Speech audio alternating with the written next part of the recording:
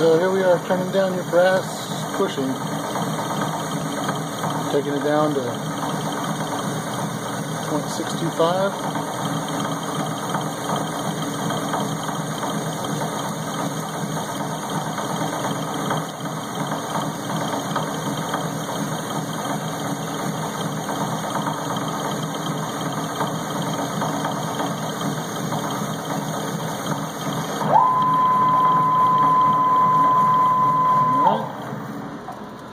Now we're going to measure. Hopefully we're at 6.625.